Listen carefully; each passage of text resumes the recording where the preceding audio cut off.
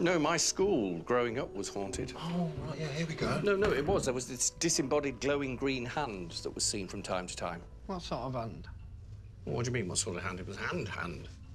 Not like a man's hand.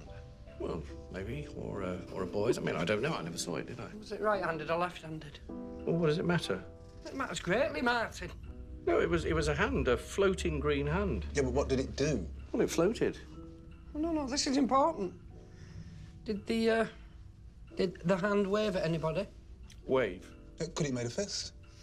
You know? Get out of here or you'll get in detention. Do you want me to tell the story or not?